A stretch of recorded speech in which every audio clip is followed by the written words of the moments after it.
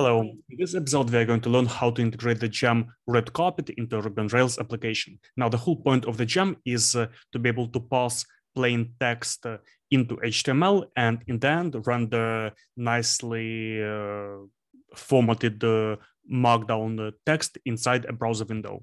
So here, for example, I've got uh, a post in a Ruby on Rails application where I have some kind of uh, plain text written that is formatted in uh, uh using some kind of markdown tags.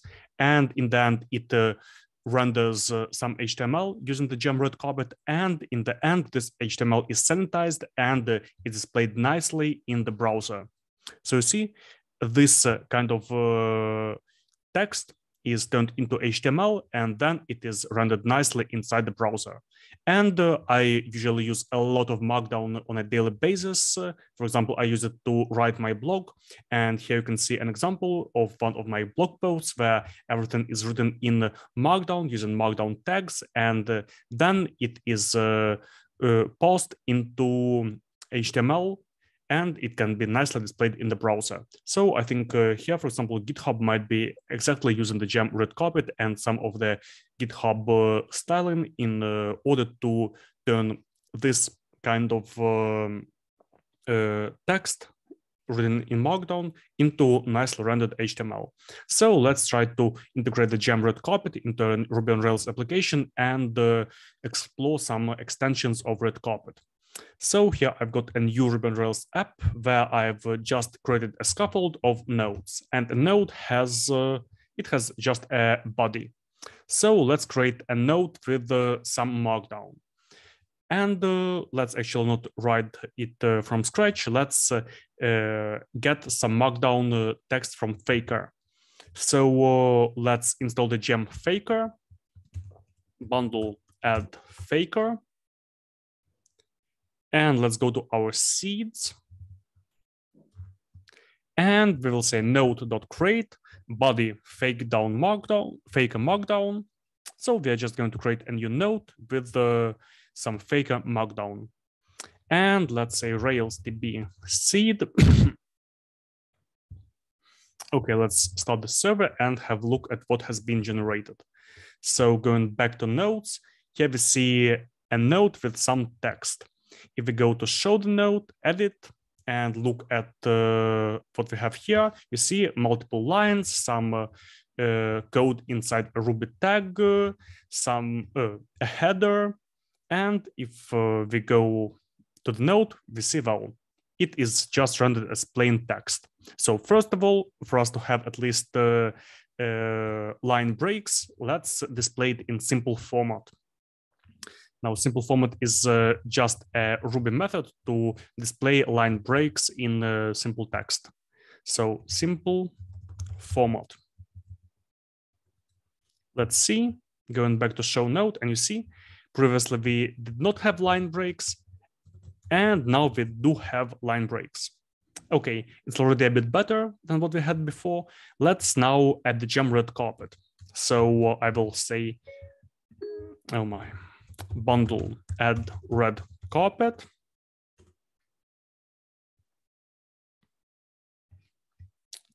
Here's the Redcarpet gem. And now let's uh, try to pass some text to Markdown. So I can try to take uh, this method and go to our app helpers, nodes helper, and say uh, def markdown we're going to pass some kind of text inside. And we'll say just markdown.new, we'll pass the text, and well, no extensions for now. And let's try to use this helper. So I will say uh, equals markdown node.body. Let's see what it gives us. Okay, let's start the server. Okay, and now we have a Redcarpet object. So let's say to HTML dot to HTML. And you see, now we have this uh, text that we saved in our database uh, rendered as HTML. So it was formatted as HTML using Markdown, using Redcarpet. And if we say HTML save on top. Then you see it is sanitized and it is nicely displayed as Markdown. Here you see we have some tiny code blocks and the code blocks are not uh, really visible that these are code blocks.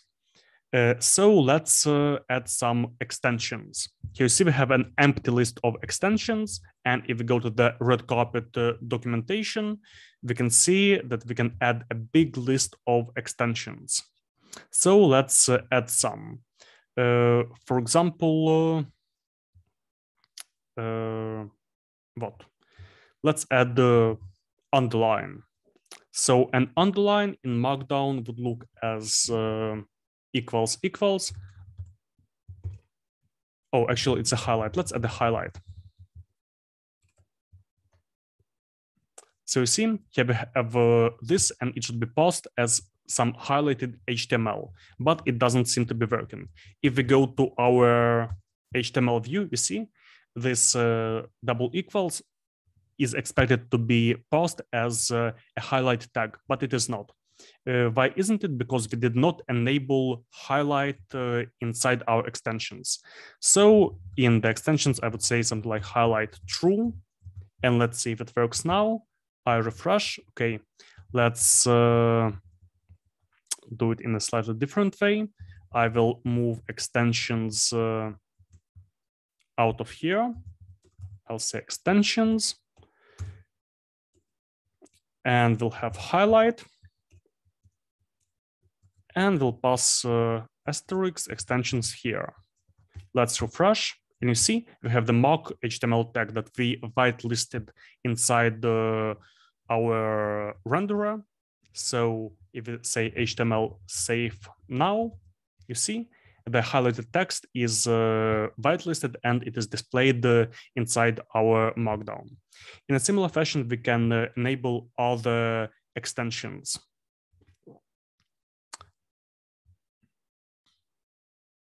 Let's actually enable more extensions and see how it looks. I would say uh, extensions equals, and I would just add the, well, all the extensions that we have here. I've uh, copy pasted a list. So here are the extensions and uh, let's refresh. And you see the formatting has uh, changed a bit more. Now let's uh, yeah, let's go to this form and you see the form doesn't look uh, good at all. So let's update the form also. Let's say uh, in the text area body, we will have uh, uh rows. So let's have like 30 rows, for example, by default. Let's uh, say that uh, we'll also have a style. And in the style, we'll say width 50% of the screen. Okay, so looks a bit better when we are editing. Now let's add the, a Ruby block. Uh, let's say def users, user.all, and, and let's see how this block of code looks. Okay, here we have a block of code, but you see it isn't really formatted nicely. And uh, how can we customize our output HTML and uh, change some colors, change some fonts? Well, let's go back to our helper and let's have a look at the unsanitized HTML. And here we have a pre tag, pre and code. So let's uh, style this uh, a little bit.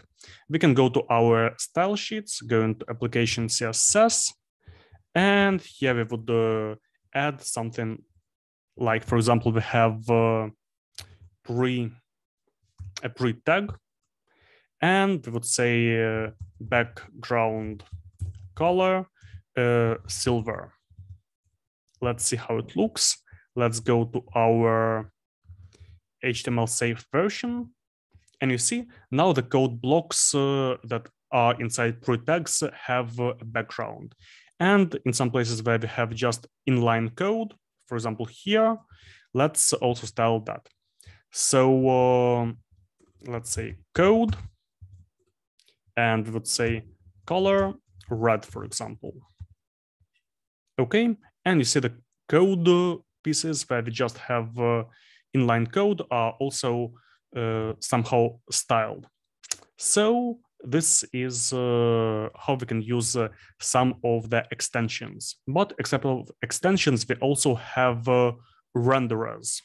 Now, what are renderers? These are additional options that we can uh, set on our HTML that we render with Markdown. For example, let's have a link inside our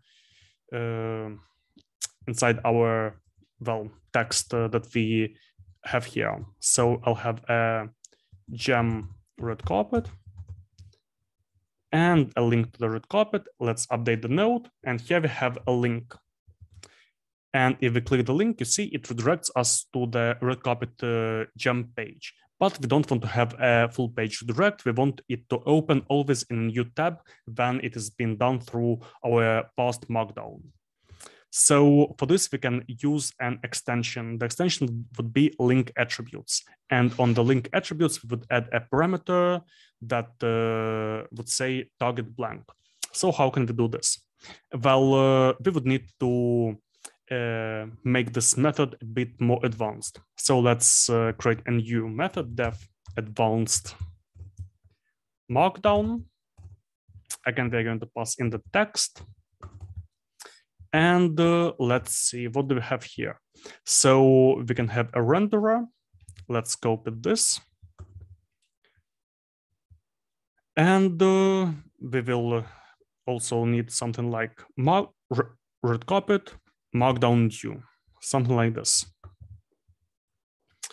Okay. And here we're going to pass in the renderer and we're going to pass in some extensions. So here we have Markdown view. Here we have, uh, previously we had just the text, and instead of having just the text, we're going to say Redcarpet render HTML, and we're going to pass in some additional render options. So no links, uh, hard wrap, these are render options. As we have uh, here, renderers, let's say renderers or render options and render options equals no links, hard wrap. Let's see how it works. So we've got render options and let's also enable some extensions. So what are the extensions going to be? Well, we had some extensions here. We would say extensions equals uh, uh, highlight true uh, and uh, hard wrap true. Okay, so we've got render options, we've got extensions, and uh, let's see if anything gets rendered. Let's go to our node partial, and inside instead of just markdown, I would say advanced markdown node dot body. Let's refresh. Okay, and again, we have a Redcarpet markdown object. That's good. Let's uh, now say that we want to render so here we can use render and we're going to pass in the text. Let's refresh. And here we have uh, the rendered HTML. And I would say HTML save. And you see it has rendered, but we have disabled all links in the render options. So now I will say no links false. And the links are now allowed. And I can add some additional option like link attributes. So I would go to link attributes uh, and run the options. And inside this, I would uh, add something like uh, target blank. And let's have a look at the HTML that it generates. So uh, you see we have a ref and target blank. If I say blank uh, s, for example, you see it is blank s, but that isn't going to work, obviously. So again, I will say HTML save, and voila, we have a link. And if I click the link, then it opens in a new tab. So that's about it. Uh, and uh, again, you can add all the render options that you like. You can add all the extensions that you like to have a very custom uh, output of uh, your markdown in your specific application and you can use uh, regular CSS to style the markdown and for it to have a unique appeal in your application. So thanks for being with me and see you in the next episode.